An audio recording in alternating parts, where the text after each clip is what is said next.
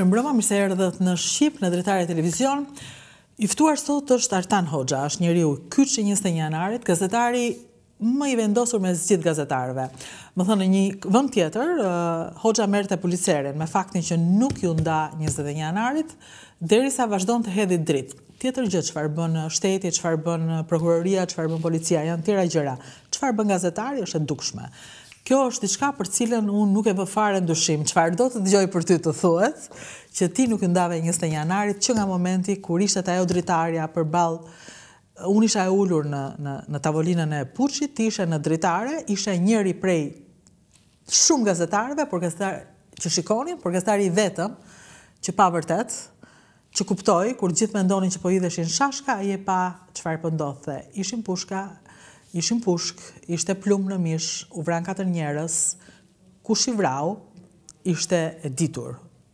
por për të shkuar deri në fund, ai është ende duke folur pa asnjë frikë. Dhe unë të komplimentoj edhe për pikën e dytë që s'ke frikë. Unë kur pashë mesazhet e tua, se po flas pafund tani, ndjesë, por ripërsëritëm një emision, që bëmë në 20 janar vjet. Kemi qenë në këtë tryezë, folëm bashkë në 20 janar 2022. E ripërsëritëm.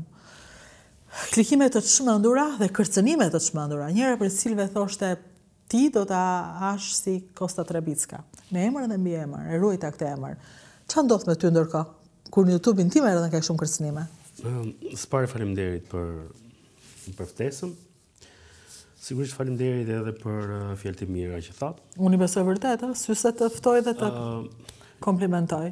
Pikërisht edhe unë prandaj të, të falenderova. Ëh, uh, sigurisht që Unë mendoj që në profesionin që ne kemi, ajo që na diferencon nga profesionet e tjera, është pikërisht se ky është një profesion që ka disa kritere, ka disa virtyte, ka disa standarte që s'i kanë profesionet e tjera. Dhe ndër to hyn sidomos karakteri, Së dyti është pasioni që duhet ta kesh, së treti pastaj është kurajo dhe profesionalizmi që duhet t'i shoqërojë të treja bashkë që ti të mund të të dalësh në krye. Ë ti e përmende atë skenën e famshme të 21 janarit, nëse e kujton edhe atë foton që kemi bërë tek tavolina. E puçit, pra. Po. Tavolina e puçit. Në fakt, unë kam, po e quaj në, në thonjëza një, një ves që dokumentoj çdo gjë. Për shembull, e fundit m'u desh ta bëja pa leje. Për shembull, babain e Aleks Nikës duke dëgjuar... Pa, po, pa. Po. regjistrimin në diktofon dhe në një moment u bëra sepse e vura re që nuk po e shikonte, në një moment pastaj u bëra pishman pse e bëra pa leje, pastaj kur kur u publikuan transkriptet e e Ajo ishte prova e përgjimit dhe kur pashë reagimin, ku ka audio. Reagimin politik nuk e diskutoja, mhm. por edhe të kolegëve tanë, atëherë për fat të mirë shiko ajo. Shiko, normal është të thonë ku e ka audio, no? Nuk ka gjë. Dhe në moment nxora ë nxora atë pjesë sepse nuk duhej të nxirrja provën. Tani, edhe njëzet e një janar ka ndodhur e njëjta gjë. Tek ajo tavolinë e famshme kemi bërë një mos gaboj tre shkrepje. Tre shkrepje kemi patur në pozicion në kënde të ndryshme. Po. Ku në një moment të caktuar, sepse në atë tavolinë u ulën dhe u ngritën shumë njerëz gjatë gjithë asaj kohe, duke për, përjashtuar një grup të vogël që ishin dhe për shkak të punës aty, që qëndruan gjatë gjithë kohës aty sepse ndërkohë ishin dhe në detyrë. Pra prandaj në, në atë moment ato fotot kanë kapur, domethënë, situatën në atë moment që është bërë, që është shkrepur foto. Sigurisht që po të kishim përdorur më shumë ë materiale atë ditë, po të kishim më për fat keq. Në atë kohë përdorja një telefon dhe derisa ma mori prokuroria në 2016, kisha një telefon Samsung të vitit 2000, ishte shumë i vjetër. Dhe ai nuk punonte as nuk kishte as internet asgjë, po unë e mbaja vetëm në radio, Duke qenë që jam edhe tifoz sportit, unë e përdorja edhe si radio. Pra, e përdorja vetëm për telefon në radio. Atë ditë do të më ishte dashur shumë. Kam patur një celular tjetër që ishte orë dore, dhe ishte kamerë, pra e vendosje në dorë, por edhe ai me, me memorien ishte i kufizuar dhe ai mori sa mundi. Se për distanca të afrëta, dhe këndi që vendosëm, që u vendosëm ne atje sipër, në fakt kishte, ishte çikë distanca e madhe. Kisha një kamerë dore tjetër, me të cilën kam filmuar ato pjesët e tarracave të fillimit, edhe ajo ka kasetë 20 minutëshe dhe për dreq ajo protesta zgjati më shumë se ç'mendonim ne. Pra, janë shumë detaje ndonjëherë, pra shumë elementë të pjesës të punës sonë që të bëjnë që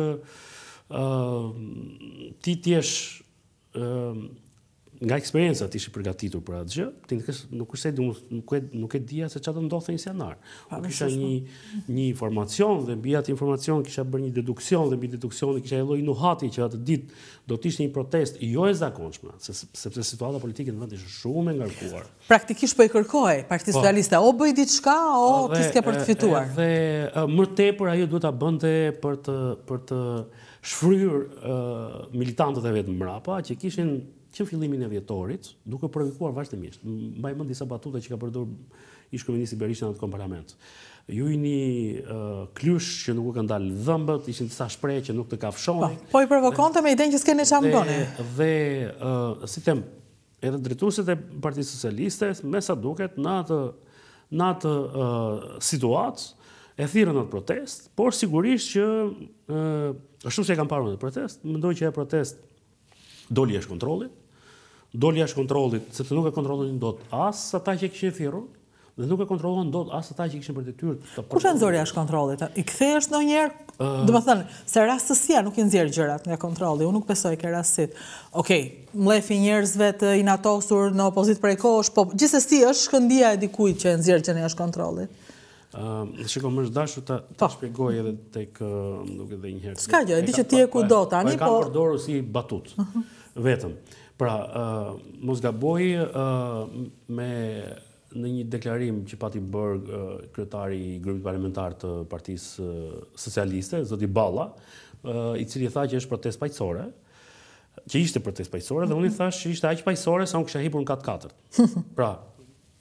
Që kishte informacion që do të ndodhte diçka do të ndodhte.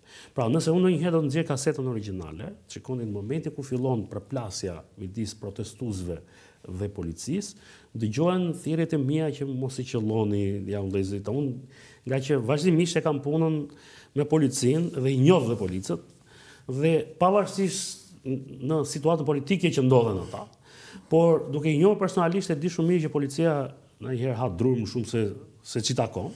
Dhe ë kisha edhe një lloj keqardhje në atë moment dhe po ndihesha edhe keq sepse aty në rreshtat e parë kishte disa qëlloj që ishin dhe edhe të njohur të mi. Madje njërin prej tyre e njoftoja gjithë kohë si po i digjin makinën sepse është makina e fundit që është djegur dhe ishte makina më e vjetër, ai e kishte lyer vetë një 3-4 herë me bojë dhe prandaj nuk merrte zjarr.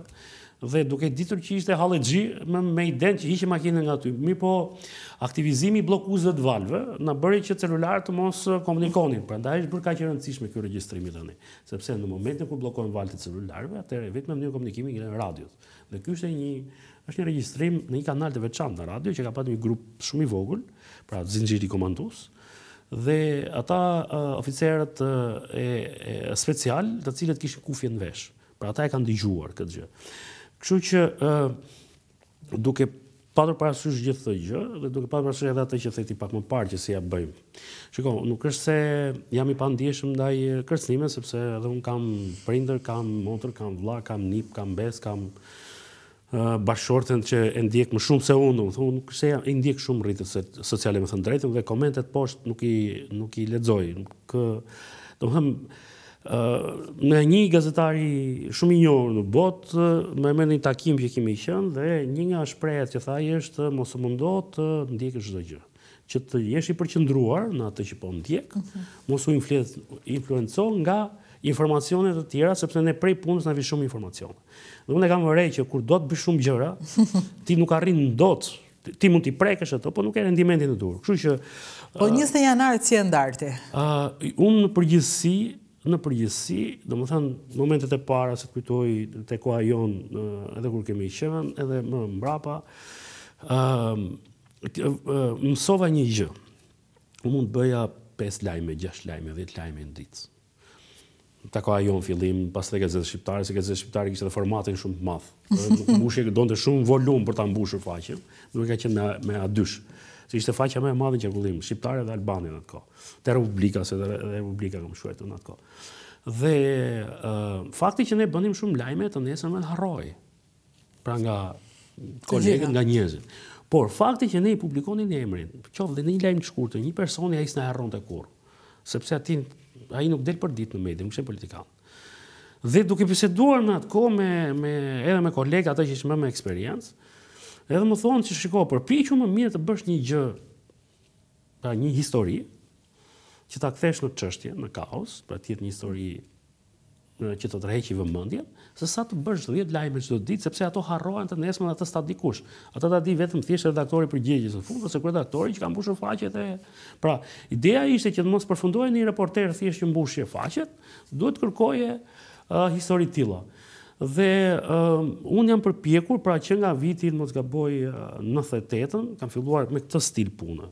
Pra të ndjek një histori dhe të mos e lë të të shoh deri në fund. Kisha fat në atë kohë sepse mbuloja këto kronikat gjyqësore dhe proceset gjyqësore ishin pikat fundore ku përfundonin historitë që nisin te mhm. policia, vazhdon te prokuroria dhe në fund është vendimi i gjykatës.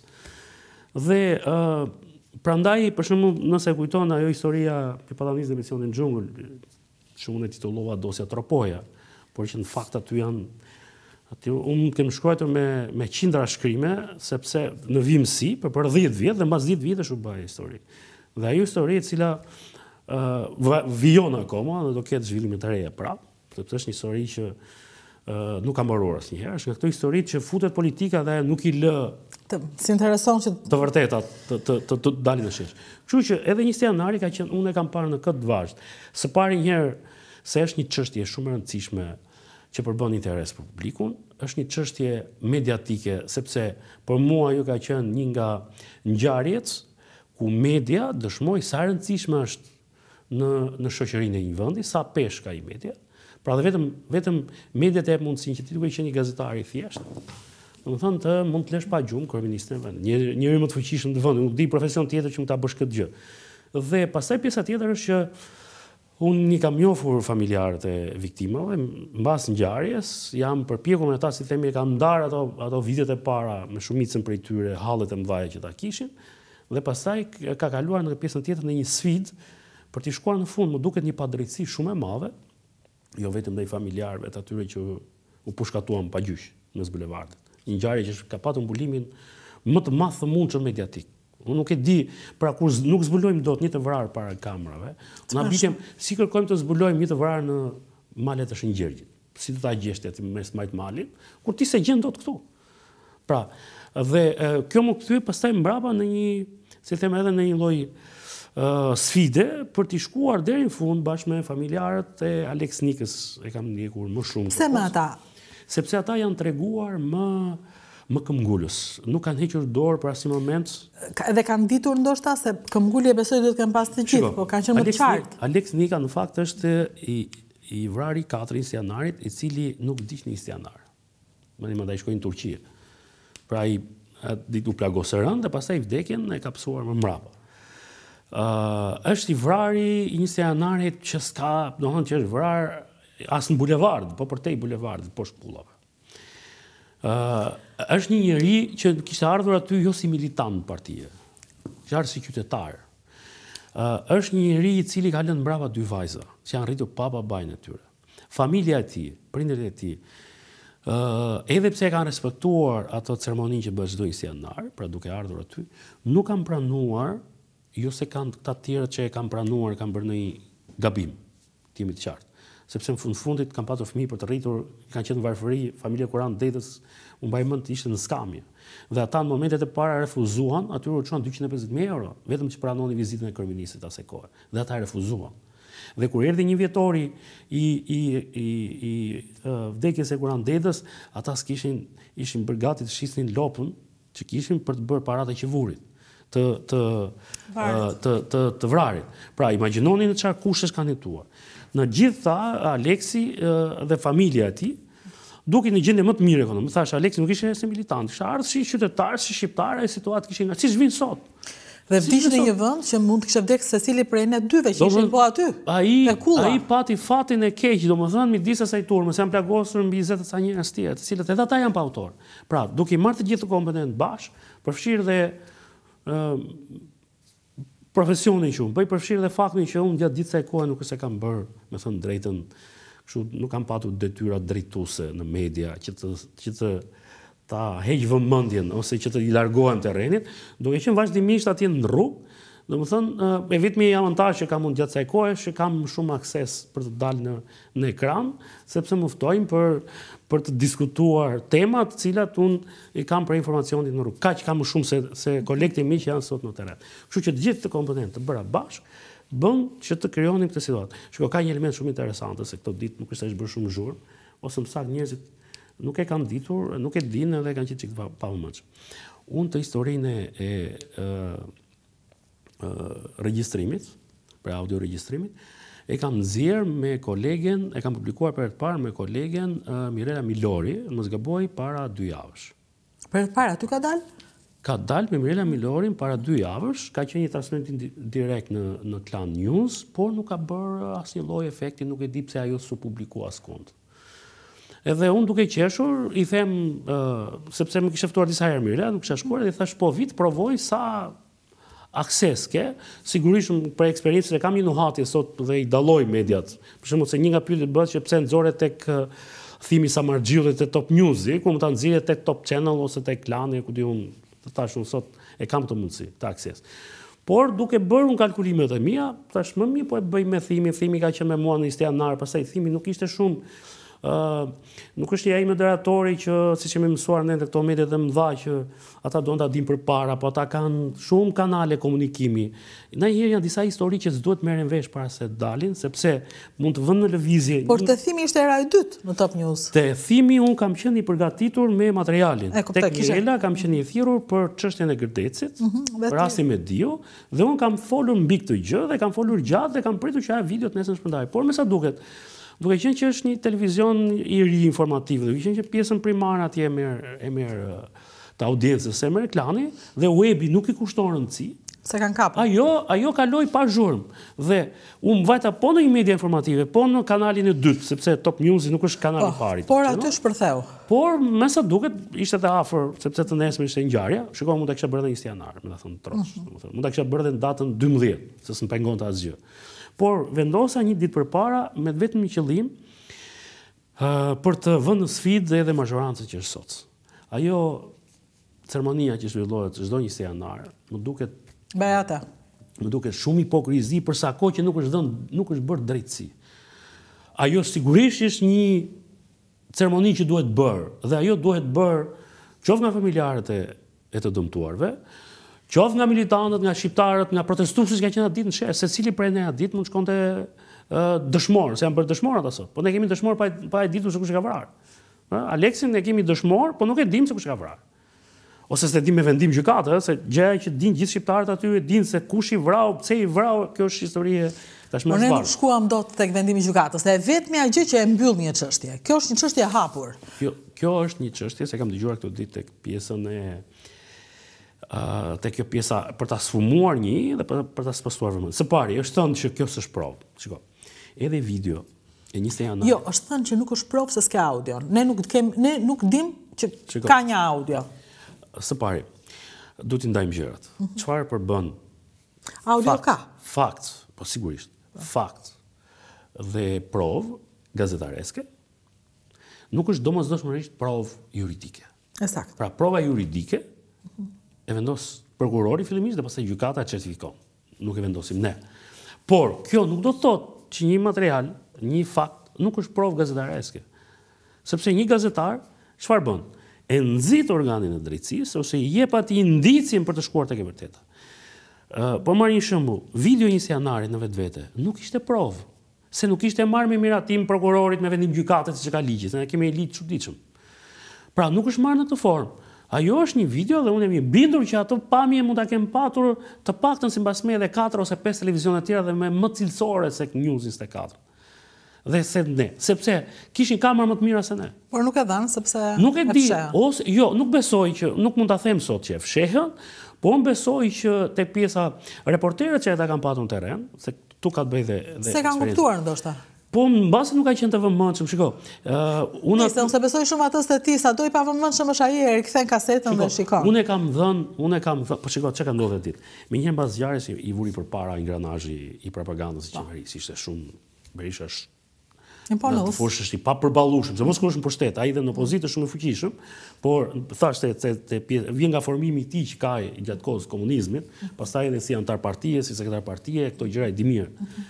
Dhe ai aty nuk të fal, dhe presingu që bëri ai, ishte i jashtëzakonshëm, ai nxori mjekët, ai pastaj filloi nxori Analistët, ai pastaj filloi nxori ministrat, pra deri në darkë ne ishim bombarduar që ajo makina, ai benzi jeshil atje, që ishte një i dehur nga lagjja Shkozë andej, që e mori turma dhe e çoi aty, ajo makinë thanë që ishte mbushur me eksploziv. Po si mund të sjellë turma një makinë të mbushur me eksploziv, kur ata që do vriten të parët janë turma. A kuptoni tani çfarë mund ndodhte? Tjetër, në gjithë atë ngjarje, s'u kap një armë te protestuesit.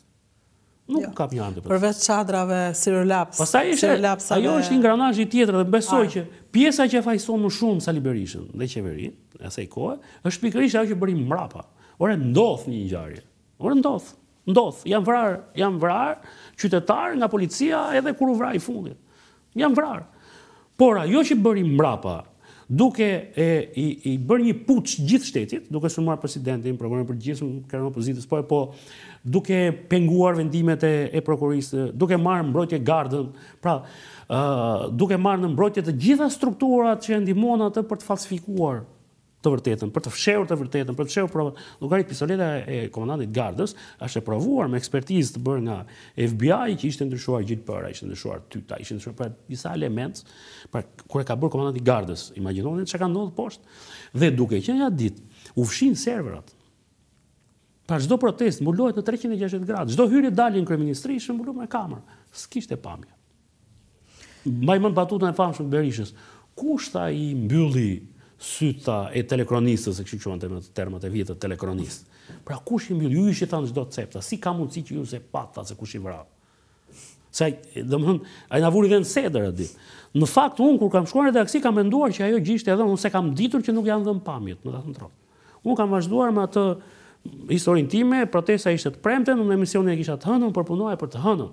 Unë nuk kam ditur gjë deri në 10 e gjysmë darkës që nuk kishin dhënë pamjet.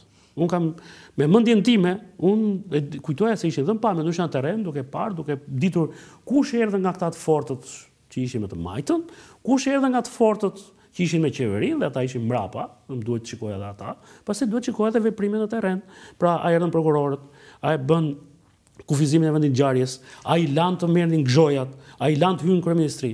Dhe në fund e mësuam që ishin fshirë serverat, ishte fshirë serveri i gardës, ishte fshirë libri apo protokolli ku regjistrohen të gjitha urdhrat që jep komandanti i gardës, gjithë komunikimet regjistrohen aty. Në mënyrë që mbas ngjarjes, Mbas protestës, bëhet analizimi edhe për atë çka ndodhur, por edhe nëse ndodh një vepër penale. Atëherë, për ta thënë shumë shqip unë, për sa kohë kjo çështje u fshi në atë kohë? U fshi çdo gjë. Kaluan 12 vjet dhe nuk u hap gjë. Pse tani kjo prova jote do e hapi? Pse e beson ti këtë? Shiko, çështja njëherë është e hapur, nuk ka qenë mbyllë ndonjëherë. Çështja thjesht është lënë hapur dhe nuk hetohej. Dhe unë mendoj që nuk hetohej sepse nuk kishte vullnetin Së pari politik për ta hetuar, së dyti Po ky vullneti tani u ngjall? Po me sa duket ndonjëherë do dhe një çik se ne nuk mund ta paragjykojmë një gjë që pse kujtohen për një gjë. Shiko, ne nuk i ndalojmë dot politikanët të përfitojnë nga historitë e veçanta. Jo, është por e tillë jeta. Por ndonjëherë duhet dhe interesi i tyre për të përfituar që ta shtyjnë një çështje përpara. Tani, në këto momente ne kemi disa struktura të reja të drejtësisë. Kemi disa prokurorë që kanë një mbrojtje ligjore, shumë herë janë sot janë krejtësisht të pavarur. Janë të mbrojtur nga ligji, janë të mbrojtur fizikisht, janë të mbrojtur me truproja ata dhe familjet e tyre dhe kanë një mbështetje të pakufizuar nga aleatët tanë të mëdhenj. Pra sot një prokuror po të dojë të tregojë Sa i vlen lëkura, mund t'i hapi çështje penale nga presidenti i vendit deri tek i fundit dhe nuk ke çfarë i bën. Vetëm ai duhet të jetë profesional në gjetjen e provave. Prandaj po kërkohet që kjo dosje, kjo audio të shkojë vetëm në SPAK? Për këtë gjë po kërkojmë që kjo çështje të shkojë në SPAK. Ne kemi punuar, kur them ne, fus dhe familjen Nika dhe konsulentët e tyre në këtë histori, nuk kemi punuar një muaj, dy muaj. Më thuaj po me shqiptarë ka punuar familja, konsulentë? Sigurisht që kam punuar me shqiptarë, kemi punuar për një kohë të gjatë, për ta argumentuar këtë gjë. Kjo është punë e bashkëpunim? I kemi lënë kohën e duhur, unë kur merrja një informacion, shkoja diskutoja me ta, ata kur merrnin një informacion, më njoftonin mua dhe diskutonin me mua, pra, jemi munduar të bashkëpunojmë, siç bëhet për çdo ngjarje, se për çdo ngjarje ti do të komunikosh me, me, me, me, Sot që flasim, policia është në shpinë e tij. Ne jemi duke regjistruar tani dhe nuk e di ç'do ndodhë kur të dalim, po ti i di gjërat në kohë reale. Policia gjyqësore, mhm. ose më saktë hetuesi siç është termi i vjetër, e Prokurorisë Tiranës, ka shkuar në banesën e Aleks Nikës në Lezhë, ku banojnë prindërit e tij, babai, Ndue, nëna e tij, bashkëshortja e Aleks Nikës dhe dy vajzat e tij, Më në fund, për herë të parë shkuan, imagjinoni, mbas dymbëdhjetë vitesh shkohet aty. As i ka pyet kush, as i ka thirr kush. Pra është një gjë që duhet ta bëjë. Unë sot nuk e besoj që Policia e Shtetit, Garda e Republikës, Shërbimi Informativ që s'kanë lidhje me këtë pjesën e drejtësisë, por që varen nga qeveria, dhe kjo qeveri ka tre mandate, dhe këto tre mandate janë një ndëshkim politik që i ka bërë publiku shqiptar, populli shqiptar, atyre që shkaktuan 21 janarin. Kaq kanë në dorë ata votën. Ata kanë votën, e kanë lënë opozita atë, këtij i kanë lënë gjithë kohën e duhur, për, kur them këtij Ramës, po. pra i kanë lënë gjithë kohën e duhur, që gjithë, gjithë kohën e duhur që të, të krijojë infrastrukturën e duhur, për t'u dhënë drejtësinë, nuk them që ta bëjë drejtësinë Rama. Por Rama i ka të gjithë mundësitë nëpërmjet strukturave që ka, që të gjejë dhe të shohim provat e reja. Dhe unë jam i bindur që kjo provë, një vetëm kjo element, se ka dhe elemente të tjera, po kjo provë që kemi gjetur ne, ose kjo, kjo material që kemi gjetur ne, mund të gjendej edhe nga ta. Mund të gjendej, mund të sigurohej edhe nga ata. Jam i bindur për këtë gjë. Por nuk është bërë kjo gjë. Nuk është bërë sepse jashtë kësaj, jashtë njëzet janarit, unë kam parë edhe disa interferenca të tjera, që hyjnë tek ato interferenca politike. Pra, ora, janë disa ngjarje që njerëzit i duan kështu. Pra njëra palë akuzon tjetrën, dhe ka për çfarë ta vërë pas murit palën tjetër. Pala tjetër që është e përfshirë në atë ngjarje mundohet ta relativizojë. Shiko, batuta më banale në gjithë histori dhe më makabër do ta quaja, që përdor ish kryeministri Berisha është uh, kush i solli mish për top. Po, e po, tani. Pra, mish për top i solli ky topçiu, Edi Rama. Po ti, pse i vrave? Ti e kupton që Edi ka sjellë mish për top, po, po ata s'janë të armatosur, ata janë me hunj gardhi. Po imagjinoni sikur të ishin vrarë policë aty? Unë po të them Sali Berisha do, do ishte Berisha sot tre mandate të tjera në pushtet, nuk do ishte më Edi Rama. Edi Rama atë mëngjes, pra 22 janar, do ishte në kokërr të burgut. Në kokërr të burgut. Nëse do ishte provuar, nëse do ishte vrarë një polic, ose do të ishte më, provuar që vrasjet erdhën nga turma, Edi Rama dhe nja pesë të tjerë, ë të asaj zinxhirit komandues të opozitës te nga krahu tjetër, do të ishin në burg. Jam i bindur për këtë gjë, unë në mesnatë kam takuar prokurorët e asaj ditë që erdhën për të sekuestruar videon, e dini që s'ia kam dhënë as atyre? Nuk ua kam dhënë. I kam thënë më ta zhjeri tiki, se s'ka mundësi u thashë t'jua jap sot, nesër do gdhijë dita se doja të shikoja reagimin. Por thashë unë nuk e dija që këto s'ishin dhënë. Dhe unë po i bëja gati për të hënën dhe vetëm një debat që kam bërë me një regjisor që ishte redaksia ishte boshatisur, se njerëzit ishin lodhur dhe debati me atë ai në fakt anonte një çik nga nga nga e djathta dhe më nxjerr atë video që ishte transmetuar në në mos gaboj në në klan atë kohë dhe tha ja tha kush e ka bërë, i ka bërë ishte ai me çadër ai. Po. Ai xhaja me çadër. Dhe si ka mundësi mo nuk i ke transmetuar ti ato? Dhe ai filloi vuri dhe veten në dyshim, ore, unë mbaj mend thoshte që ne i kemi pas si plane, mirëpo regjia, regjisë i vinin 4 ose 5 pamje dhe ai vendoste një nga ato. Dhe ai mund ta ketë parë në ekran atë që i ka ardhur si sinjal, po nuk e di a e ka vendosur në transmetim live, sepse ne ai këtë s'e gjente dot. Pra ai kishte bindjen që diku e kishte parë. Ndërkohë s'kishte nevojë të kisha bindje se unë e kisha parë dhe ishte e qartë që i vrau garda. Dhe s'kisha pik dyshimi për këtë gjë, sepse e pashë pozicionin aty, për fat të mirë këndi që ne zgjodhëm, Ishte shumë i mirë. E kam thënë se nisa të them pak më parë, pse i ban kat katër, po e kisha një lloj informacioni që atë ditë nuk ishte një protestë e zakonshme, po nuk menduam që të shkonim të vrasim.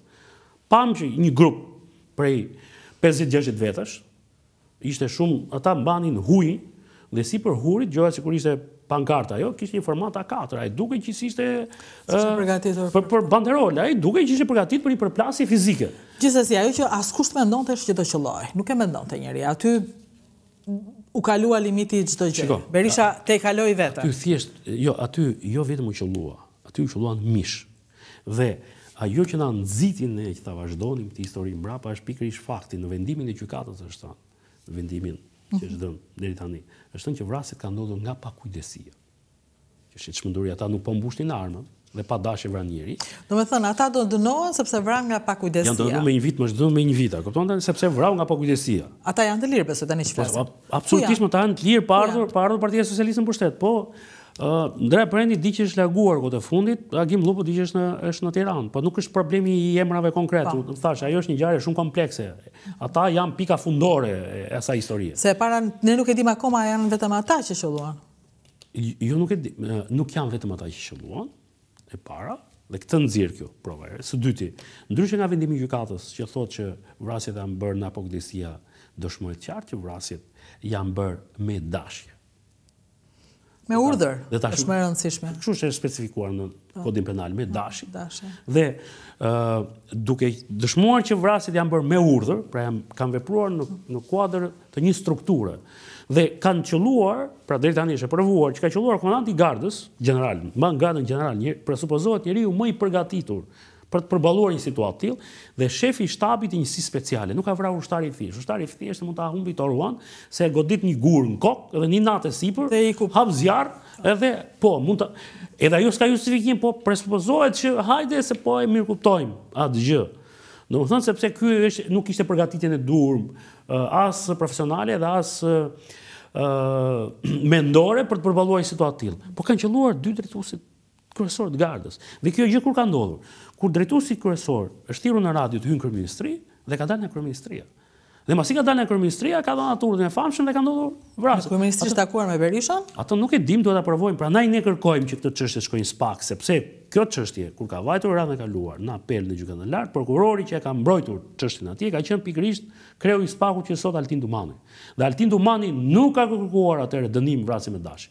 Ka kërkuar dënim për shkak, kështu, nuk ka kërkuar dënim nga pakujdesia. Ka kërkuar dënim për vrasje me dashje për shkak të cilësive të veçanta dhe ka kërkuar, mos gaboj, dënimin maksimal. Pavarësisht se gjykata nuk e ka pranuar. Atëherë ju po shkoni te Dumani apo te Spaku? Ne po shkojmë te Spaku dhe kemi Për shkak se është Dumani. Dhe kemi dhe avantazh dhe kemi besimin më të madh që është Dumani sepse Dumani e njeh çështjen. Dhe Dumani ka patur një qëndrim mbi çështjen i cili nuk përputhet me vendimin që ka dhënë gjykata. Ndërkohë kjo çështje nuk mund nuk rigjykohet, sepse kjo nuk është gjykuar një herë. E kuptoj. Kjo është provë shtesë në një dosje të hapur. Kjo është indicie për të shkuar... Do them, atëherë, e quajmë indicie, nuk është provë. Një indicie që të çon te prova. Kjo është një indicie që të çon te prova. Pse them unë që është indicie? Sepse dhe video e njëzet e një janarit nuk ishte provë në vetvete. Po ishte indicie që e ndihmoi prokurorin të vete te Agim Llupo që dukej atje, t'i marrë automatikun, t'ia ekspertojë automatikun Te kufoma e Ziver Veizit u gjet predha dhe u rezultu, nga ekspertiza që u bë, doli që predha e gjetur në trupin e Ziver Veizit është qitur nga automatiku MP pesë që kishte marrë me inventar Agim Llupo. Pra prova ishte predha që u gjet, nuk ishte video. Pra, edhe në rastin Të konkret, kuptoj, po ne kemi momentin dhënë që të është materialin. fshirë çdo gjë tani, është fshirë çdo gjë. Domethënë, ty përveç se në qoftë se të del Ndrea Prendi dhe ta pranon, po, Unë u futa në kryeministri, këtë ma kërkoi kryeministri. Gjithsesi, domethënë, këtu nuk ka asnjë gjë. Shikon, ne, asnjë letër. Ne kërkojmë të pyetet, ja që kjo gjëja doli. Po. Dhe kjo gjëja është regjistruar me këtë pajisje. Me diktofon. Diktofon. Ky, pse e përdoret akoma apo apo është asaj po, kohe? Po unë i përdor. I asaj kohe është, unë e kam akoma. E kam ndonjëherë kur përtoj të shkruaj, se kur është dikush që flet shpejt për shembull dhe nuk arrin ta zbardh dot edhe e përdor. E kanë regjistruar me qëllim, do të thuash. Nuk e di pse e ka regjistruar, por ai që ka regjistruar ka bërë një gjë shumë të madhe, ai e ka dokumentuar. Ai e ka dokumentuar. Sepse këto duhet të ishin në server, po, serveri u fshi. Po. Këto duhet të ishin proces verbal, proces ah, verbali s'ekziston. E ka bërë dikush për të mbrojtur veten. Dhe është thënë që vrasjet janë bërë pa urdhër. Po. Pra vrasjet janë bërë pa urdhër. Vrasjet ka thënë është bërë në zbatim të ligjit. Jo, janë me urdhër. Tjetër, si e ka bërë ai? Ai ka patur akses te ky kanali në radio që komunikonin vetëm ndërmjet vetes. Dhe nëpërmjet radios, pra ai dëgjonte, po, radion dhe ka vendosur pajisjen. Siç ke bërë ti me Aleks Nikën, ai fliste ti regjistroje. Dhe, dhe e ka, edhe e ka regjistruar. Jo, me babain e Aleksit. Me babain. Ndue, po me Ndue Nikën. Po. Pra, Ë, kështu, në këtë formë mendoj unë, nuk e di njëqind për qind saktë, sepse kjo është një gjë që duhet ta verifikojë në mënyrë shteruse prokuroria. Por, nga ajo që kam mundur unë të kuptoj deri tani, mua më rezulton që uh, regjistrimi është bërë në pajisje të tillë se këto janë pajisje që në masë nuk përdoren më se është vështirë se kanë dalë pajisje të reja plus që celularët sot nuk kanë nevojë të mbash më diktofonin se ti përdor celularin dhe është edhe më komod. Pra, Regjistrimi është bërë në këtë formë, ai e ka regjistruar, pse e ka regjistruar e si e tek unë nuk e di dhe nuk do t'i hyj fare asaj pune. Unë di që ai ka bërë një shërbim shumë të madh që ka bërë atë regjistrim. Juve jua dorëzuan. Unë jam i bindur që aty aty ka shumë të tjerë që kanë regjistruar, sepse ti edhe ti e mban mend, bashkë me ne ka pasur edhe pjesë të stafit diplomatik të vendeve aleate, pra që nga ambasada e Shteteve të Bashkuara e vendeve të Bashkimit Europian, që kanë qenë aty, dhe unë nuk besoj që ata ishin për qejf për të pirë kafe me ne, se ata s'i kisha parë ditë tjetër. Pra, ata e kanë monitoruar, sigurisht ata e kanë kanalet e tyre për të monitoruar situata të tilla, një lloj zhgënjimi për mua në këtë histori ishte fakti që unë mendoja që ata kanë prova, jam i bindur që ata kanë prova të tjera, që nuk ia kanë vënë në dispozicion drejtësisë tonë, por ata i kanë, Unë mendoja që ata do ia vinin dikur drejtësisë, kështu që në rastin konkret, ne e morëm në dorë këtë këtë material, sepse po e kërkonim. Kemi marrë dhe materiale të tjera, po po i kërkonim. Dhe ku po i kërkonim? Po i kërkonim pikërisht aty ku mendonim që duhet të ishin këto materiale. Dhe pse kërkojmë të shkojë në SPAK? Sepse deri tani prokuroria e Tiranës nuk ka marrë në pyetje Sali Berishën, kryeministrin në detyrë të asaj kohe. Nuk ka marrë në pyetje Lulzim Bashën, ministrin në detyrë në momentin që ka ndodhur ngjarja. Nuk ka marrë në pyetje Bamir Topin, ish-president i Republikës. Bamir Topi, duke qenë president i Republikës, ka patur akses mbi materiale sekrete, mbi raporte sekrete që Shërbimi Informativ ia ka çuar atij. Që agjencitë e tjera ia kanë çuar atij. S'është thirrur kurrë ai. Po pse tregon barsoleta ai tani kur e pyesin? Jo, ai tregon, ai ka bërë një libër. Unë po them vetëm librin e Bamirit ta marrë prokurori, e ka indicien të thërrasë Bamirin dhe t'i thotë, "Ore, nga të erdhi ky informacion ty?" Tjetër, duhet të marrin në pyetje Prokuroren e Përgjithshme, Ina Rama, nuk e ka marrë. Duhet të marrin edhe për presionin që është bërë, por edhe për raportet që kanë ardhur, që i kanë ardhur raporte të klasifikuara asaj. Duhet të marrin në pyetje ish-shefin e shërbimit informativ Bahri Shaqiri. Nga i ka marrë ato informacione? Duhet të marrin në pyetje Edi Ramën. Ëh? Për protestën si u organizua, nga i mori informacionet Edi Rama që vrasjet i bëri garda, duhet të marrin në pyetje Ilir Metën. Nga e dinte Ilir Meta një ditë para, i cili doli në deklaratë për shtypin, për median, një përfaqësues se nuk e di a ka dalë vetë, më duket një përfaqësues i, i partisë së tij, dhe deklaroi që të nesërmen do ketë incidente, do ketë dhunë dhe ndodhi dhuna. Nga e dinin ata? Nga e dinin? E ky hetim nuk është bërë. Tjetra, ore duhet pyetur Sali Berisha. Ore nga e dinte Sali Berisha menjëherë mbas ngjarjes që vrasjet i bëri turma? Kush i njoftoi ata mjekët? S'janë hetuar ata mjekët? Nga e morën vesh ata që vrasjet janë bërë me armë që s'i ka në dispozicion Garda e Republikës? Nga e dinte Berisha që ai xhaxhai me çadër bëri vrasjen? Nga e dinte Berisha që protestuesit ishin stërvitur me thika me helme? Ku i dinte këto gjëra? Nga cilët? Këto, për këto s'është hetuar kurrë. Se 21 janari ka dy dimensione, ka dimensionin politik, ka dimensionin kriminal. Pra duhet hetuar, sepse në fakt në fakt 21 janari është një krim politik shtetëror. Më saktë është një krim shtetëror dhe familja e Aleks Nikës prandaj e ka ndjekur si krim shtetëror. Dhe krimi shtetëror nuk mund të përfundojë duke dënuar vetëm ata që shkrehën armën. Shiko, mbaj mend pamjen e Ndrea Prendit mbas 21 janarit me hematomën. Po. Berisha tha që e goditën me gur. Unë e kam fiksuar Ndrea Prendin në fillim me uniformën e gjeneralit, me kapele normale të përditshme që përdorte ai në gardë dhe e kam filmuar në momentin para vrasjeve ku ai ishte me helmetë, me skafandër. pra që nuk dëmtohet nga gurët dhe ka një pistoletë në dorë. Ajo pistoleta që ka bërë, ka marrë jetën e Faik Myrtos, se është e provuar që ka marrë jetën e Faik Myrtos. Pra, Ndrea Prendi ka ndërruar dhe veshjen kur ka dalë aty. Pra është i mbrojtur nga gurët. Kjo ndodhi mbasi doli nga kryeministria. Tani, ai ka një hematomë. Ajo hematomë, po ta shikoni, merrni foton e kryetarit të Partisë Demokratike sot, zoti Berisha, mbasi e goditën Dhe ajo është një ngjarje shumë e rëndë. Pasi e goditën me grusht, krahasojeni të dyja, të dyja janë hematoma, të dyja e kanë janë goditur në krah të majtë. Është një ngjashmëri, një përputhje kështu identike. Sigurisht Ndrea Prendi nuk është qëlluar me gur. Nuk është qëlluar me gur. Po?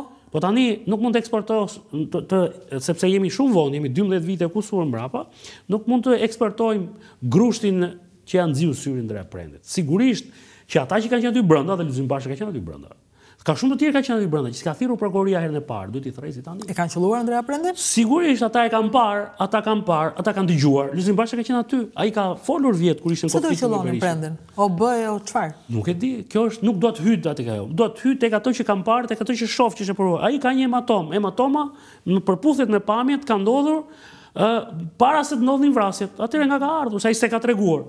Kur s'e tregon personi vetë, atëherë ti do të kërkosh elementë të tjerë që të shkosh te prova, që të shkosh çfarë ka ndodhur aty.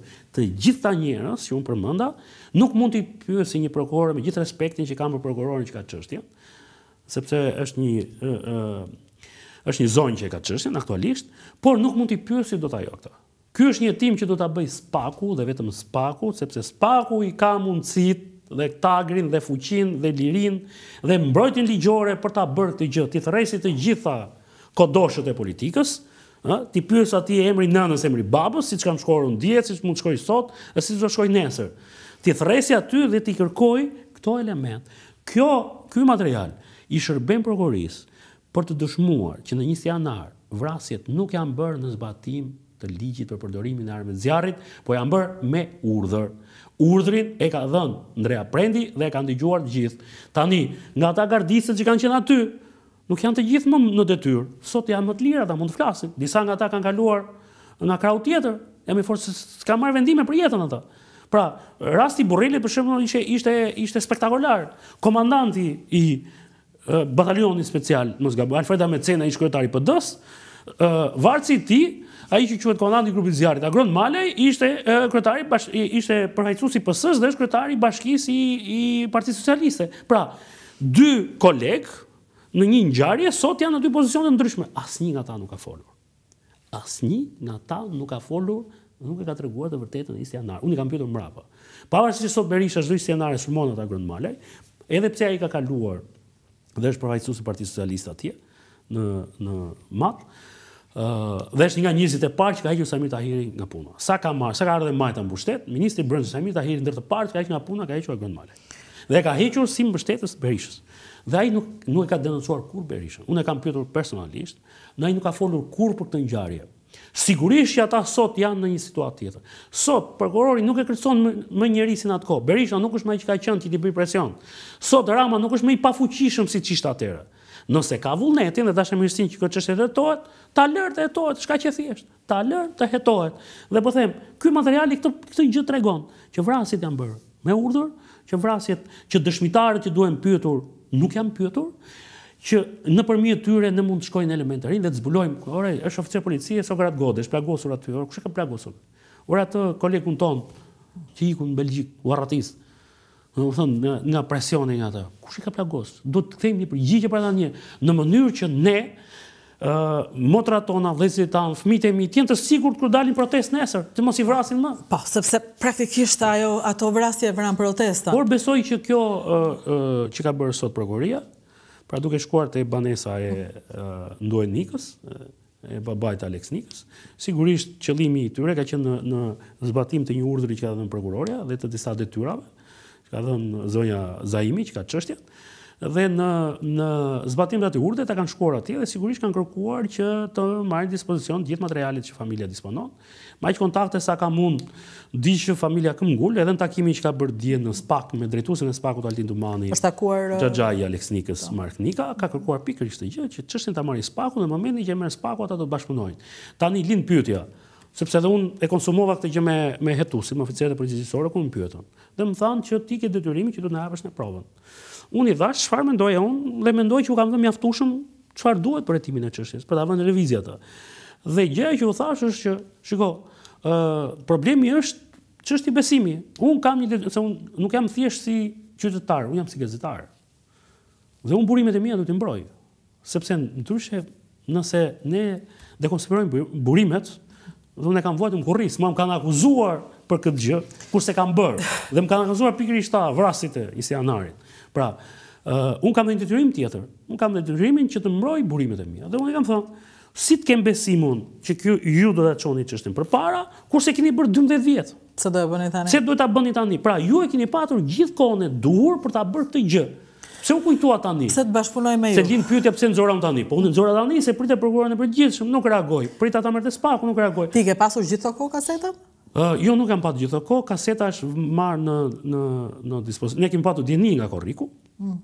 i vitit të kaluar, kur kemi njoftuar Prokurorin e Përgjithshëm në datën njëzet e shtatë korrik të vitit dy mijë e njëzet e dy, ku të gjitha këto që unë ty t'i thashë i kemi parashtruar në shkresë, e kam atë shkresë një që ia çojmë Prokurorit të Përgjithshëm, në deklarimet e mia që kam dhënë në prokurori gjatë ditës së hënë, unë kam thënë pothuajse saktësisht ato që t'i thashë ty këtu. Dhe kush do merret në pyetje? Duhet merret filani, filani, gjithashtu siç e thashë, edhe pse pretendojmë ne që duhet merren këta, sepse ata kanë dijeni. Unë kam lexuar librin me kujtime të... Më fal, the që e çove në prokurori deri në 2022-shin e çove në prokurori? Jo, jo, Lajmërimin që e ke? Jo, e kemi njoftuar prokurorin e përgjith. A, njoftuar? Me një kërkesë që ka bërë familja, në bazë siç parashikon ligji, që kemi rënë në dijeni të fakteve dhe provave të reja. Ju erdhi njeri pastaj? Jo. Fare? Jo. Ça thua? Pra, fakti që s'erdhi njeri, ne pritëm, bëmë gjithë kohën e duhur, për të thënë që, për të mos u nxituar që ja e nxorëm në media, mm -hmm. shiko, unë jam gazetar, gjëja e parë që duhet bërë ta nxirrja në media, që të merrja, që të merrja uh, audiencë dhe të bëja skup, po nuk më intereson skupi në tërësi se s'kam nevojë që të bëj më skup. Çfarë skupi të bësh aty kur janë vra njerët. Por i kemi lënë drejtësisë të gjithë kohën e duhur. Dhe prandaj kemi gjithë këtë skepticizëm. Kur them kemi dhe unë dhe familja Nika, kemi gjithë këtë skepticizëm. Ore kini 12 vjet, ore ju kemi njoftuar në korrik, kjo shkresa këtu, mban datën 27 korrik të vitit 2022. E ia kemi çuar prokurorit përgjithshëm. Tani nuk kanë vepruar. Si të kem unë më besim tek ty? Që do veprosh tani? Po si të kem unë? Se gjithë problemi është si të kem unë besim tek ty. Që ti të dëshmosh që ke besim te çështja, po në momentin që SPAK-u do hapi çështjen, do më kërkojë dhe do të më thërrasë, bashkë me gjithë familjarët, do t'i vëmë dhe ato materialet e tjera që s'kemi bërë akoma publike, se ka dhe gjëra të tjera që s'kemi bërë publike. Ka materiale të tjera. Po mua nuk mund të më fajësosh sot, pse ti ke një provë s'e çon atje, sepse... Ti ke lajmëruar për Shiko, Rudina, unë kam çuar në SPAK, nga momenti që është themeluar SPAK-u, kam çuar dhe materiale për çështje të tjera shumë të rëndësishme. Çështje që kanë të bëjnë me kryeministra, ish kryeministra, ish presidentë të këtij vendi. Nuk kam parë deri tani reagim. Sigurisht që kjo ma trondit besimin që kam ndaj strukturës. Mbase ata nuk janë ende në gjendje, në gjendje.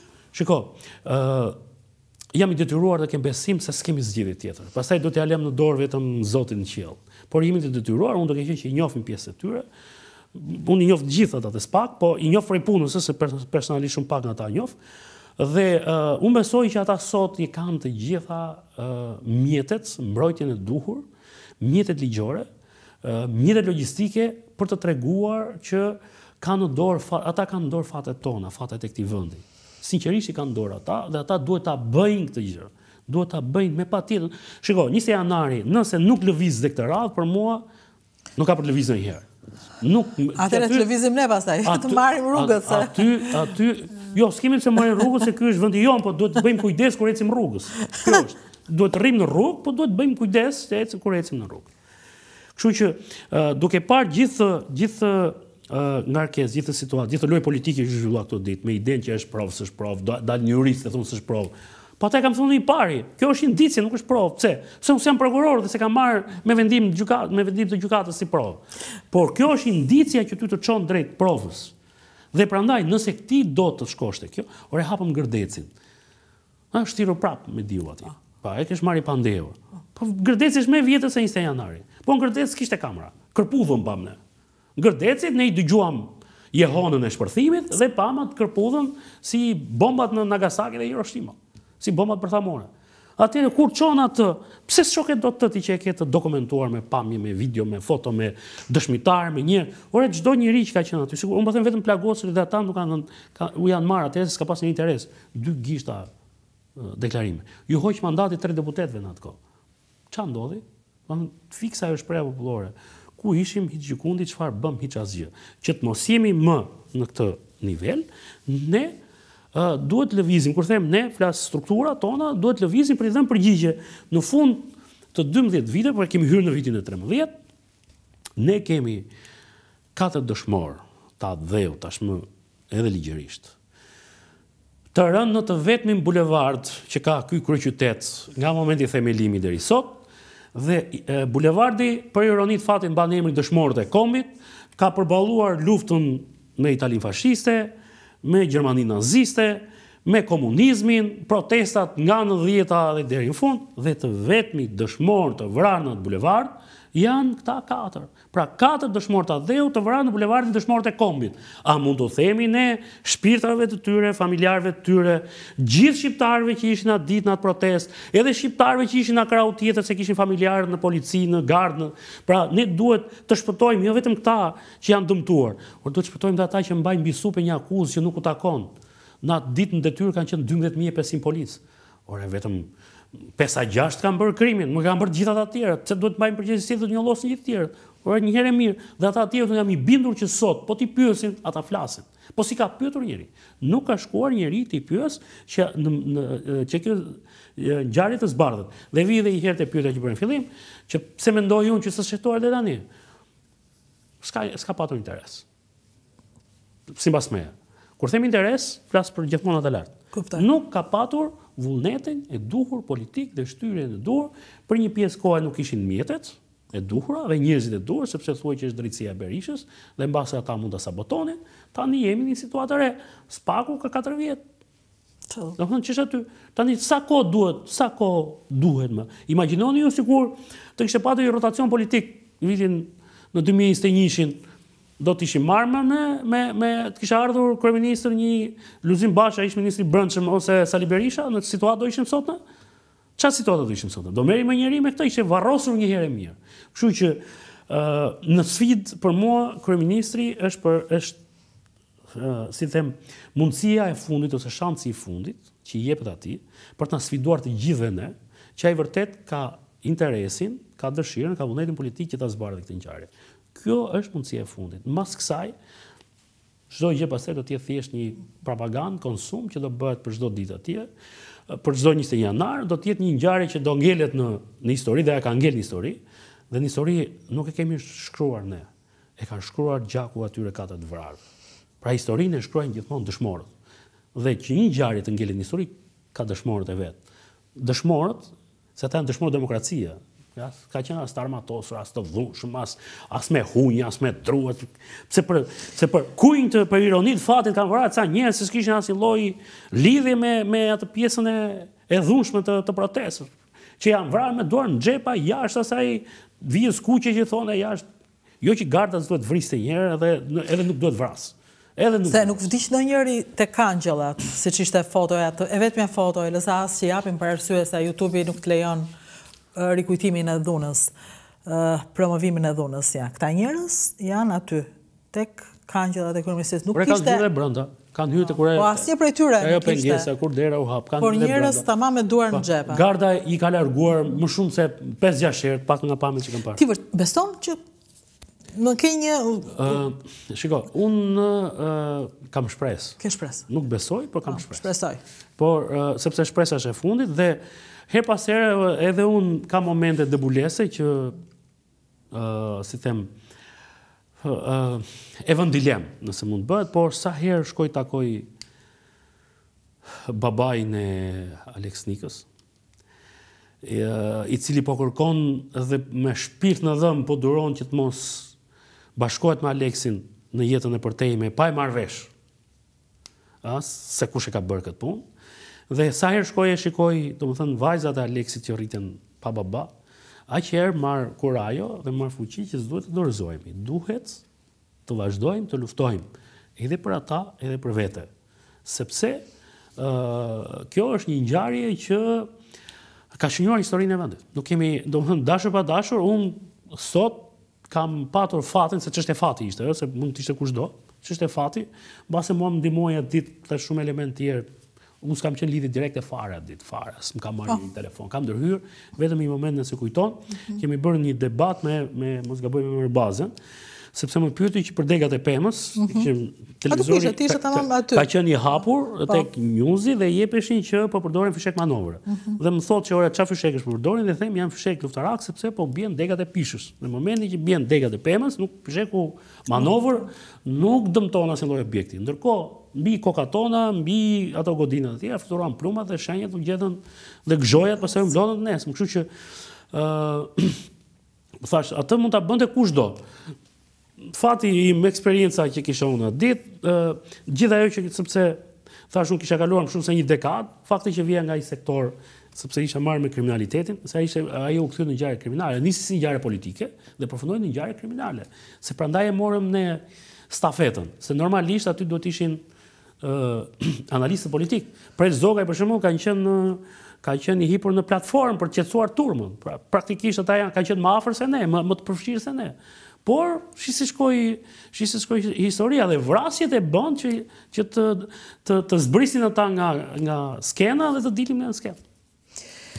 Në fakt, 21 janarin kur të bisedosh me Tan Hoxhën, sado që bisedon së fundmi ke thënë po, në çdo televizion nuk është kurrë shteruese. Jo, nuk kam arritur më Nuk është kurrë shteruese do të nuk është më vjen keq që ë domethënë një pjesë e kam thënë, jo se s'kam po, mundur, s'kam pasur mundësi, edhe nëse shikon. Po jo, është normale ti je personazhi më i kërkuar, ja tani ti flet unë të shoh celularin. Nga e premtja unë as kam mundur fle tamam, domethënë sepse më është dashur shkoj policisë, shkoj prokurorisë, merrem me familjarët, merrem me mediat, nuk kam mundur, nuk kam patur gjysmë ore kohë të merrem edhe me veten, domethënë me të të, të si them të, të, të, të rigjeneroj veten që të merrem qetësisht, por ë jam mësuar me këto lloj sfidash, se kam shqetësuar edhe familjen, sepse unë jam i mësuar pa po të tjerët që lexojnë mesazhet. Unë lexova dhe i shkruajta 12 natës shkruajta ato. Komentet që vijnë. Për shembull, diskutimi im me me bashkëshorten këto ditë ka qenë se kanë ardhur kërcënime për shembull që ishin shumë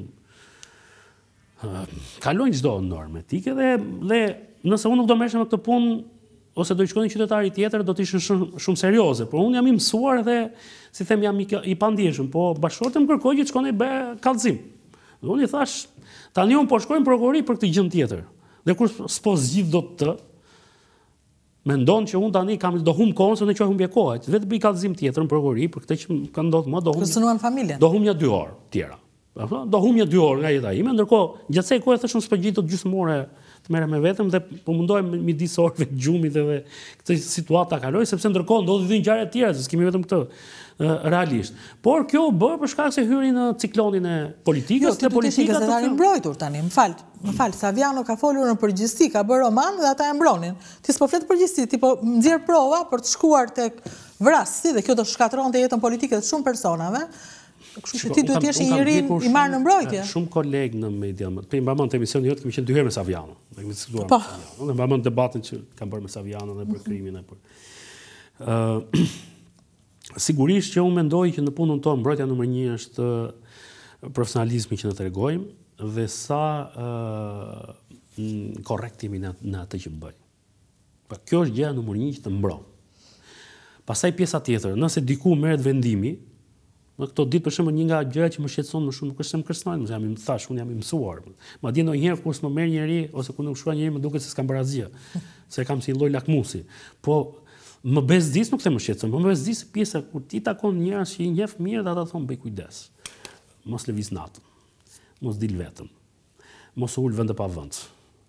Uh, bëj kujdes kë takon, bëj kujdes çfarë pi, mos ha jashtë. Për shembull, dje një që unë e vlerësoj shumë si mik, m'i dha këto këshilla m'i ka dhënë edhe para 20 vitesh, m'i ka thënë m'i ka ripërsëritur prap dje.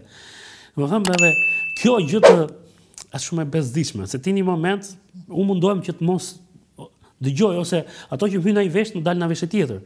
Po kur i thonë 3-4 veta, pastaj fillon edhe kalon vërtet në një gjendje të tillë. Jo, ti pra, ke zënë penën duhet ta bësh, se ti do të tregosh që je gazetar që beson ti. Mos dil natën, mos bëj këtë, ki kujdes këtu, mos lësho këtë. Shiko.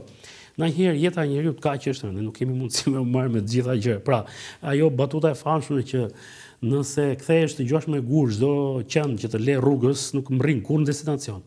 Kështu që unë besoj në vlerësimin që i bëj kohës, unë zgjedh më mirë të merrem me këtë gjënë tjetër, pastaj politika të bëjë punën e vet.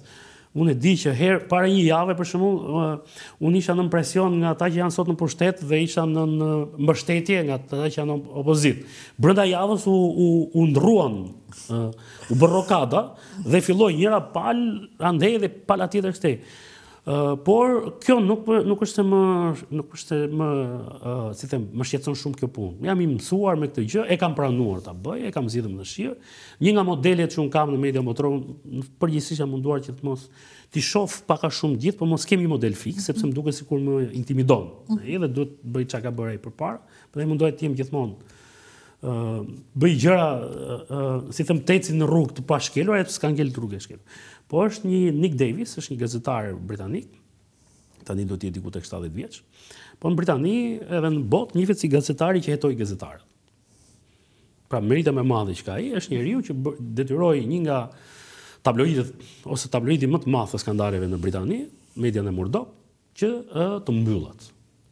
Dhe e bëri gazetari i vetëm. Sigurisht që mbas asaj, presioni që u bë atje e nxorën nga loja, e nxorën nga tregu, e kupton, sulmoi Murdokun. Dhe ë, një nga gjërat e veçanta që ka sa herë që e kam parë, ose që e kam takuar, ai mban gjithmonë një xhaketë lëkure, edhe ajo është diku e rrjepur, se do- llogarite sa e vjetër do të jetë, po ajo simbolizon atë. Dhe gjëja që më ka thënë ai, në, domethënë në, në bisedën që kam, mbas 20 janarit e kam takuar, dhe ë, gjëja që më ka thënë ai është, Duhet të jemi të kujdesshëm, jo vetëm nga ata që kemi përballë, po duhet të kemi dhe nga ata që kemi mbrapa. E para, dhe e dyta, mundohu me kohën, pra ta shfrytëzosh kohën me sa më shumë rendiment. Mund të ketë shumë gjëra që të të tërheqin vëmendjen, të të spostojnë vëmendjen, po mundohu që kohën ta mbash tek rendimenti. Dhe e fundit, mos u merr me çdo gjë. Pra po të shikoni shumë në rrjete sociale, pra një nga gjërat që më nxjerrin më kur më sulmojnë politikisht është kjo që ja doli ky që i di të gjitha. Në fakt motoja ime është mos u merr me të gjitha.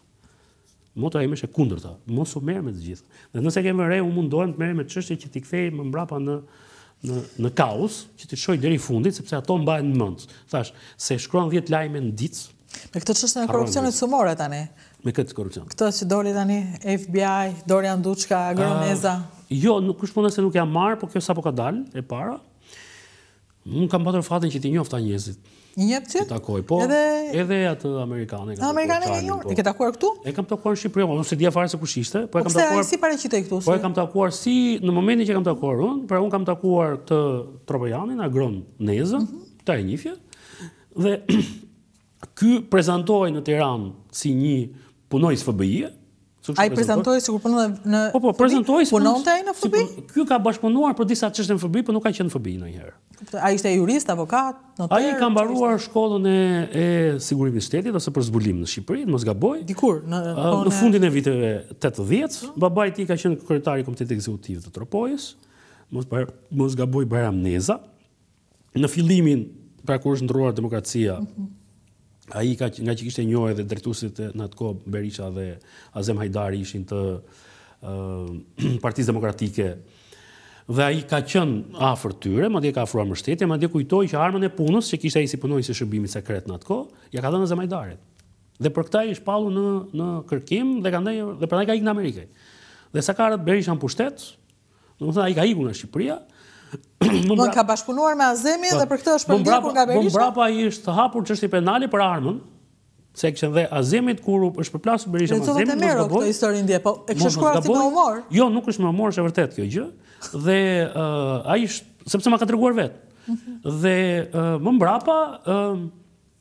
kur Berisha ka qenë në konflikt me me Azem Hajdarin, na e ka përmendur këtë punën e kësaj pistoletës së famshme, që ishte pistoleta e vërtet ka qenë pistoleta e shërbimit. Po e shërbimit po ishte pistoleta e Agronit, ishte pistoleta e Azemit. Po në atë kohë s'kishte leje për armë, Azemi ishte i kërcënuar, i rrezikuar dhe ai i ofroi i ofroi pistoletën. Është një personazh shumë interesant. Ëh Aty prezantohet dhe në dhe në dokumentat gjyqësore që janë atje si ish agjent i shërbimit, në fakt ka qenë vërtet pjesëtar i shërbimit sekret shqiptar, është larguar nga Shqipëria, ka bashkëpunuar me sa di unë në disa çështje. Ai prezantohej si i FBI-s, po se unë u bëra kurioz dhe pyeta ç'është ky. Dhe më prezantuan, më thanë atëherë që jo, nuk është pjesë e stafit të FBI-s. Ndërkohë këtë personin mbaj mend që e kam takuar, por nuk më prezantuan kush është, më thanë që është Një i madh i FBI-së nuk i kushtova rëndësi sepse ë fundja unë nuk isha për atë punë aty, isha për të takuar zotërinë në fjalë. Ë e kam takuar disa herë. Me sa di unë ai ka takuar të gjithë në Shqipëri. Të gjithë. E kam njohur, po kam patur interes sepse ishte një njeri që kishte njohje në këto nivele të dhe thash, të sjellësh shefin e një sektori shumë të rëndësishëm të FBI-së. Me çfarë funksioni i takonte të gjithë ai. Domethënë i dërguar i FBI-s me me ça? Po, ti e di që ne ose politikanët tanë në Shqipëri kanë një lloj debulese kur u thuaj që kam njohje në. Jo, unë e kuptoj, mëngjesin e lutjeve të Mediut, po këtë jo, jo. drekën e lutjeve të FBI-s nuk e kuptoj. Uh, ai s'ka bërë një, nuk ka ngrënë një drekë, më, është e sigurt që ai ka ngrënë shumë, shumë dreka dhe darka, madje ky uh, Agron Neza, Agron Neza në fakt, është vllaja i Gimnezës. Ish kolegu tonë, po. ka ndruar jetë. Dhe kjo ishte një motiv më shumë që unë pse të kisha po, akses dhe njohje me të. Dhe duke qënë, dhe prandaj kam patur, po. sigurisht isha kurioz për çështjet që ai ndiqte dhe ai në Shqipëri, por çudi ka qënë gjithmonë mbas ngjarjeve të rëndësishme politike. Ai ndodhej këtu. Dhe ndodhej këtu, sepse e thërrisnin që t'ishte këtu.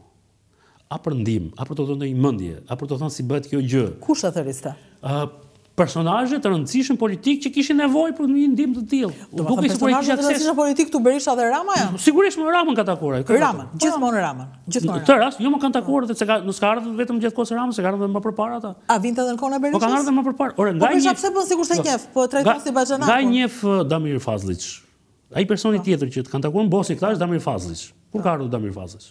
Që nga 2005, Damir Fazliç ishte në mbledhjen e Këshillit të Sigurisë Kombëtare.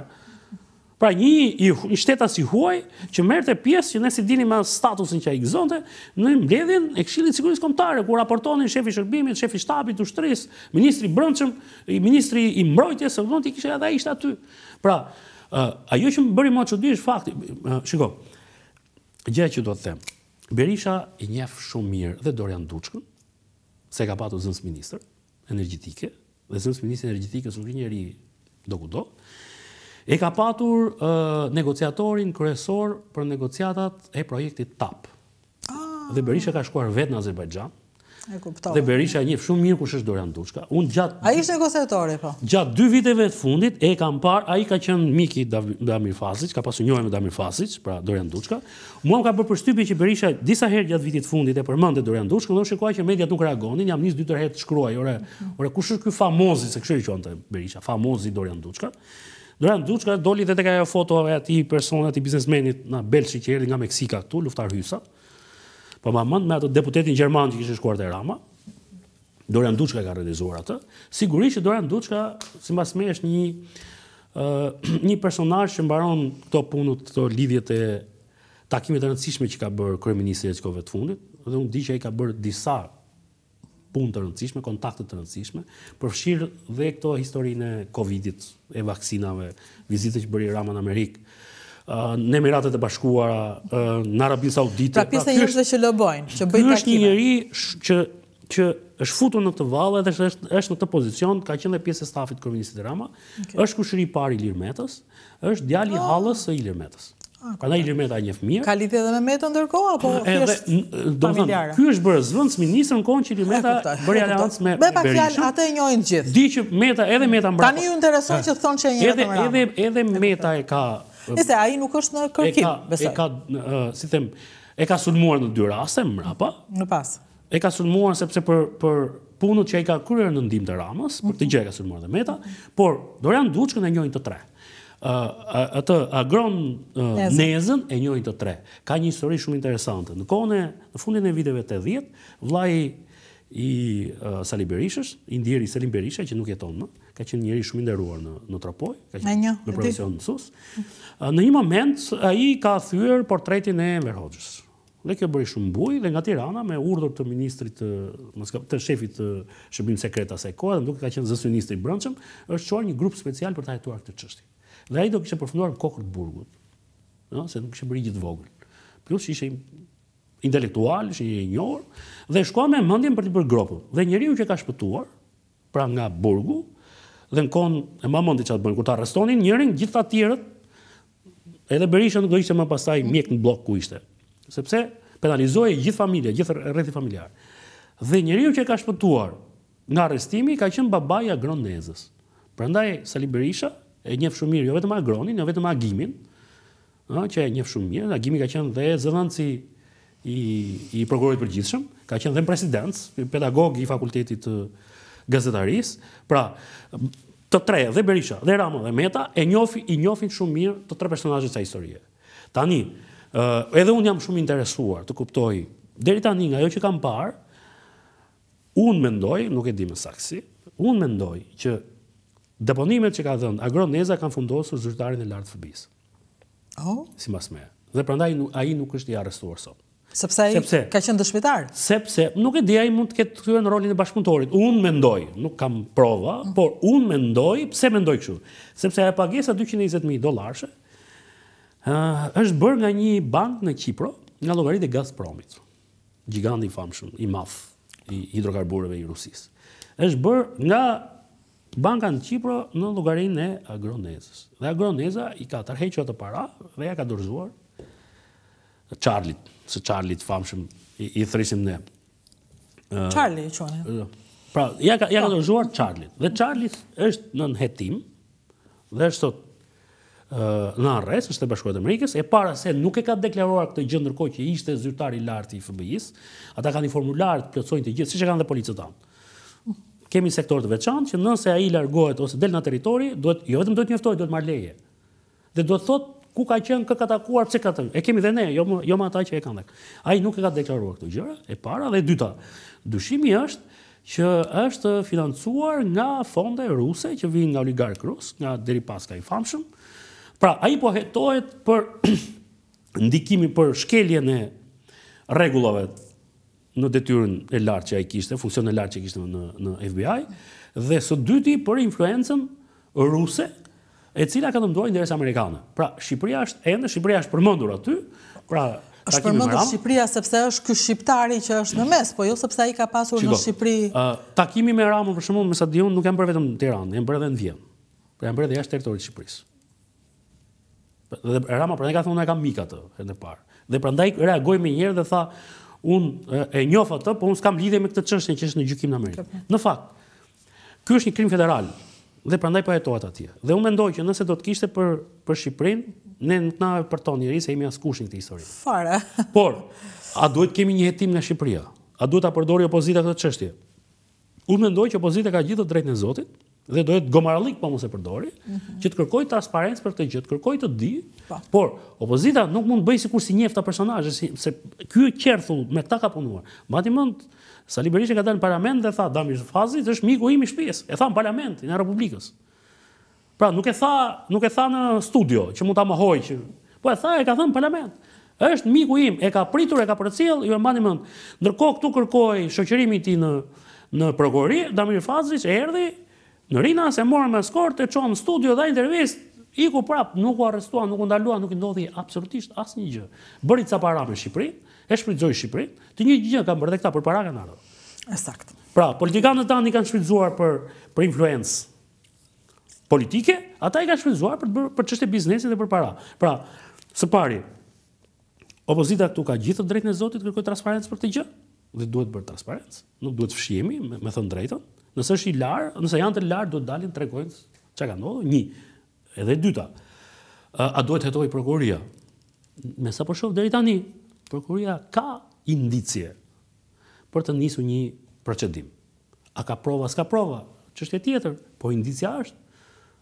Ë Saimir Tahiri është në burg me ato fletët që dolën tek ai ai portali në në Itali. Kështu nisi me indicie. Pra, a ka indicie për të nisur një çështje për mua ka. Duhet të nisi dhe të zbardhi dhe nëse ka përgjegjësi, përgjegjësit duhet të ndëshkohen. Nëse s'ka përgjegjësi, duhet të thuhet se s'ka përgjegjësi. Por nuk mund të lihet kështu. Nisur nga fakti që këta s'kanë hetuar vrasjet. Besimin unë pastaj e kam fare, fare, fare, fare minimal që te ky te ky rast pastaj që mund të shkohet. Por për mua duhet te çdo rast ku përfshihen politikanë të nivelit të lartë, zyrtarë të nivelit të lartë që në këtë vend të bëhet normë, që duhet të kemi transparencë, qytetarët duhet të jenë të informuar se çfarë ndodh me drejtuesit e tyre, patjetër që duhet të ketë. Po, ndërkohë që flasim, personi Agron Neza nuk është në as në kërkim, as në hetim. Jo, unë di që ai është thirrur, ka dhënë deklarime, atje, po nuk kam mundur të kontaktoj gjithë kësaj kohe, por duke parë materiale thjesht nga intuita po. që kam unë nga po, që ata thonë janë publike, shikojnë. Nga eksperienca që kam unë në çështjet gjyqësore, më se janë shumë gjëra që më përputhen me ato informacione që e kam ditur përpara. Dhe ë uh, mendoj nga ato që kam para ty, fakti që ka vajtur ky dhe nuk është marr Agron Neza. Dhe ky penalizohet për këtë 225.000 dollarë, ndërkohë që këto para i ka tërhequr Agron Neza. Dhe ky është i ndaluar, po Charlie është i ndaluar dhe Agroni jo, më bën dyshoj që Agroni mund të ketë bashkëpunuar me drejtësinë. Se po të shikosh, edhe ai ai biznesi që kanë tentuar të hapin në Shqipëri ata me me ish ministrin e drejtësisë më të gatboj Shefqet Izdari, se edhe Shefqet Izdari nga Tropoja është. Jam Domethënë kjo është Andaj vazhdoka emisioni yt. Kjo është një çështje ku janë futur shumë tropojan dhe nuk kam i bindur se në një ngjarje ku ka shumë tropojan nuk ia gjen dot kurrë fundin. Kështu që ajo që ne duhet t'i bëjmë të qartë publikut dhe që duhet ta në rastin konkret organet e drejtësisë duhet ta bëjnë të qartë është pikërisht për mos ka asnjë të keqe që të nisin procedim sepse ka indicie, ka indicie për të për të kërkuar, për të zbardhur se çfarë ka ndodhur, çfarë ka bërë ky qytetari që ka ardhur atje, është tjetër gjë dosja e Amerikës. Pastaj, në fund kur të mbarojë çështja e Amerikës, ne mund ta marrim dosjen e tyre dhe në në, në bazë të legjislacionit shqiptar duhet të shikohet nëse kemi të bëjmë me me vepër penale në territorin e Shqipërisë apo jo, gjë që s'e bëmë me Gërdecin. Në Amerikë u dënua Diveroli. Ne s'e morëm dosin, kurrë dosjen e Amerikës, Si shpjegohet kjo? Pa po se s'do njeri, po s'do njeri, është fare, fare thjesht. S'do njeri. Atje të janë gjykuar njerëzit, për çezin të janë po. gjykuar njerëzit, këtu dosja s'vjen, janë dënuar dhe ajo dosje s'merret në Shqipëri dhe sa herë e ngre si çështje hidhen përpjetë thonë, jo, ajo ka të bëjë me trafikun e armëve thonë. Ore në Gërdec. Po këto armë që u bënë po, këtu pra që vranë njerëz. Në Gërdec u bë dhe trafik po. armësh. Ato armët ku u morën këtu u morën? Ku nga ku në Rinas? Po. Në Rinas po. Ndërkohë vajtja e SPAK nuk marrojnë çështjet, nuk marrojnë çështjet vërtet, po këtu do ta mbyll. Fatmir Mediu. Është fushatë, është fasadë, është rivajtja e tij. Shiko, uh, secili nga me uh, nga person, nga politikanët ose nga funksionarët e rëndësishëm që vihet nën akuzë, ka të drejtën të mbrohet, ka të drejtën të paraqesë versionin e tij. Po çfarë shpërdorim detyre, si Ndrea Prendi, si si Fatmiri, si gjithë shpërdorim detyre. Ka të drejtën tjetër që të prezumohet i pafajshëm derisa të ketë një dënim. Por Gërdeci Për mua vetëm me Fatmir Mediun është fare i papërfillshëm dhe më duket sikur kjo është lëvizja e fundit për ta arshivuar një herë e mirë atë dosje dhe ah. për mos bërë drejtësi. E kuptoj. Atëherë kjo e mbyll. Po, zyrtarisht Gërdeci është quajtur një aksident. Po, po. Po, madje ministrat tanë të mbrojtjes vënë vën lule te aksidenti. Pra, atje kemi një aksident teknologjik po. që u vranë 24 Këtu kemi një aksident njerëzor. Këtu kemi një një vrasje nga pakujdesia. Po. Pra, në, nëse ne do të vazhdojmë kështu, mos prisni që të bëhen të kemi gjëra më të mira në afat shkurtër. Me sa duket ne duhet të ndrojmë shumë gjëra që të fillojmë të lëvizim. Duke filluar që nga elita që kemi lart, sepse ata të tre, më duket uh, ne nga jugu përdorim një shprehje, kemi parasysh ajo uh, ai sendi që vihet uh, mbi zjarr, që vinin dikur Gjyshet tona, perustia e famshme, ajo me tre këmbë. Dhe mo e, elita e këtij vëndi më duket si një perusti. Perustia ka tre këmbë. Nëse një heq një nga to këmbët, ajo kthehet përmbys dhe të kthen edhe atë saçin që ke sipër, nëse mund të kesh lakror byrek, nëse ke një gjellë aty, pra ta kthen, ta rëzon. Atë.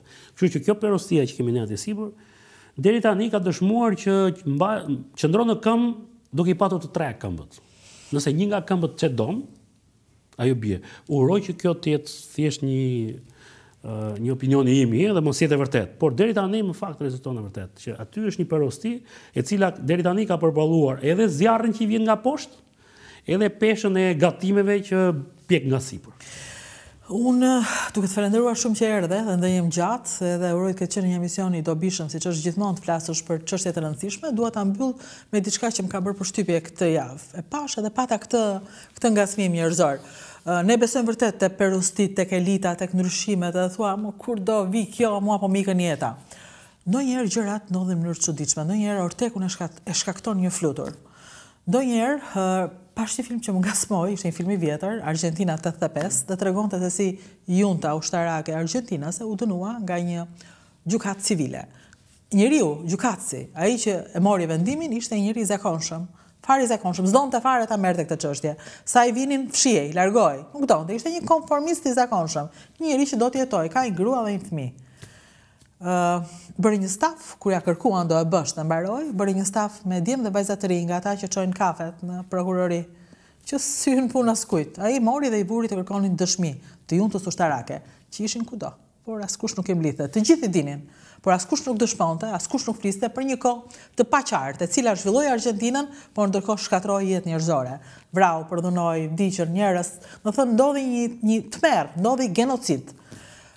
Befas të gjitha gjërat u bënë dhe ky prokuror i zakonshëm u bë hero kombëtar në rrethana të jashtëzakonshme. Ai dënoi juntën.